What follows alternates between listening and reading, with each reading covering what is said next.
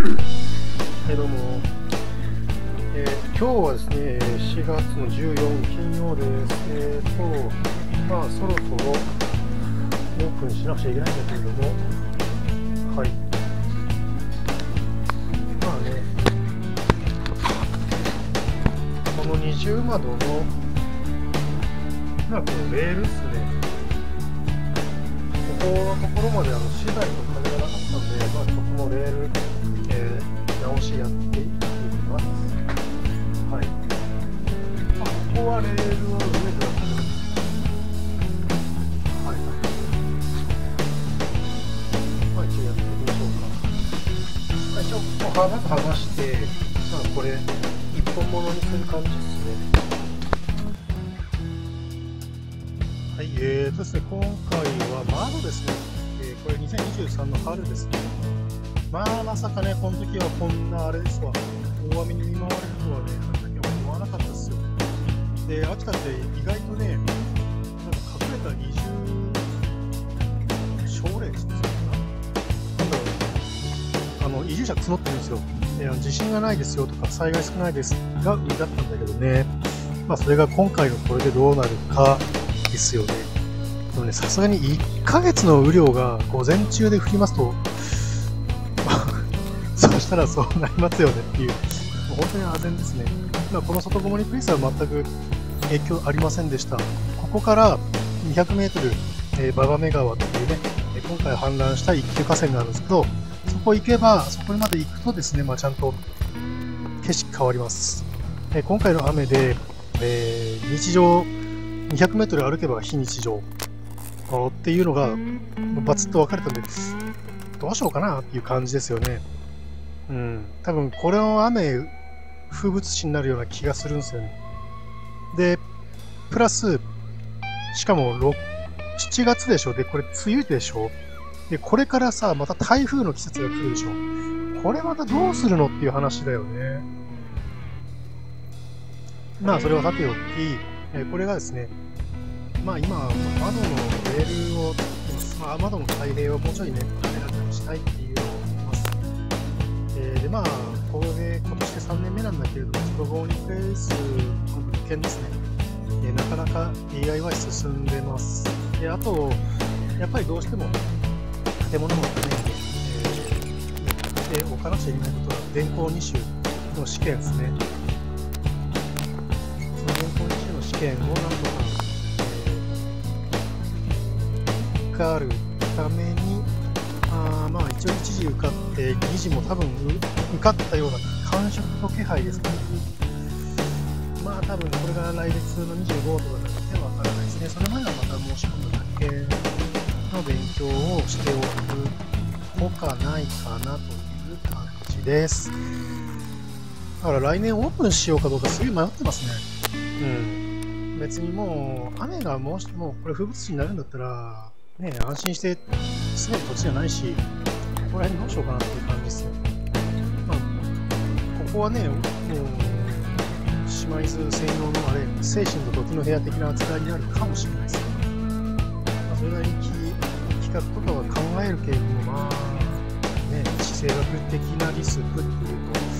かっこいいけれども、まあ、それがついて回られると、ちょっとたまらないよなっていう感じですね。一応レールが入りましたね。まあ、一応全部レール入れてないけど、まあ、さすがにここまで、そこまで入れなくても、まあ、いいかっていう感じですね。ここまで窓を開ける何かあるのかなっていう感じで。はいまあ、こっちも同様に、まあ、ね、この年、金がなくて諦めたものを、ちょっとやり直しました。まあ、一応これで客室が OK。ということで、次は台所とかの収納かな。えーそこに行きますか？あと、俺の部屋の二重窓なんで、彼寒いし、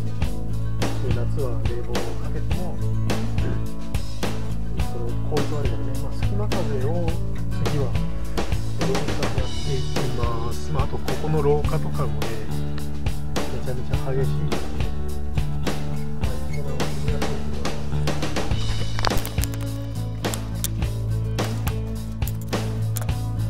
えーとですね、やっぱりこの、やっぱり、まあ、雨はあれど、このね、納屋の作業部屋自分が苦労しただけあってすごい気に入ってんですよね。めちゃくちゃに気に入ってんですよ。でまあちょっとまだ物が片付かないんで、えー、どうしようかな。もうちょい物を程度としておけばまあやりいいかなとは思います。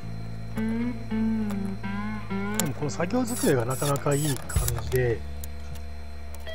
まあ、あとはね、もうちょいあの角材ですね、10×10 の角材とか、受けを作るっていう受けをね、えー、やらなかやらなくちゃいけないとか、えー、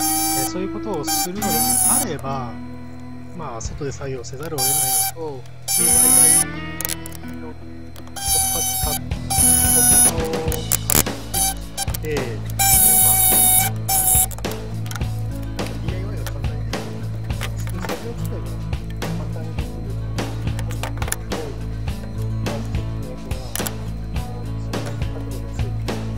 ますみたいな、まあ、それを買ってきちゃえば、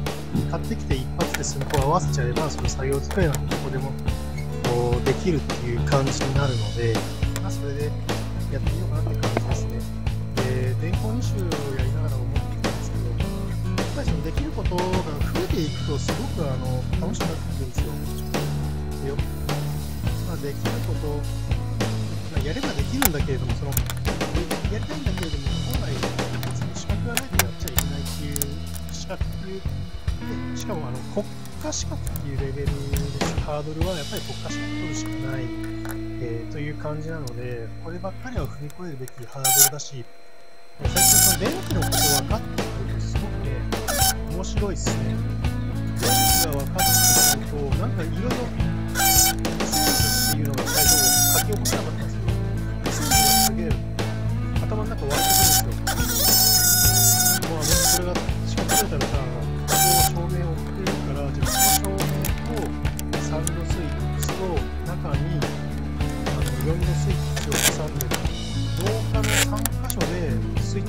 えられるようにできたら、これいいなとか、そういうなんか発想が湧いてくるんですよ。だから本当にね、本当にそのなんだろうできることが広がったらその広がっていく発想と思いつくアイデアが増えていくんですよねやっぱりもうちょっと来年1年ははますはいはいえーとまあ一応これアトリエですまあハサミに電気がないんでまあグロー級の1個や2つはちょっと、えーしようかなと思ったけども、まあ、ガス台ができました。ちょっと1個だけ立て付け悪いけど、まあ、ちょっと試しに置いてみますか。はい。えー、まあ一応こんな感じになりましたね。まあ、ちょっとここら辺、詰め物を入れておけばいいかなと思います。で、まあこれ、IH なんで、ガス台みたいなその鍋を振ったりとかっていうのをしないと思うからまあこの程度の片付きはまあいいかなって感じですでもあとこっちを高さ揃えるか揃えないか分かりませんがまあこれでやっていきます。まあ、高かったらこれ足を切って落とせばいいんで、まあ、とりあえずこれで、えー、もういいや。疲れたこんな感じです。はい。えーです。まあ、まだあまり語ってないですけど、僕自身もワーホリ行って、えー、ワーホリ行ったりですね、それで共生者行ったり、鳥取行って途中、失敗したり、途中失敗したりして、この場所を作りました。バイ暮らしに疲れた人、この状態つらい、生き方で悩んでいるのが企業で平熱にやってしまった人、まあ、何もしないをやりに来た方がいいと思います。何も影響情報に触れないということを個人的に重要と思っています。はい、今日こんな感じ。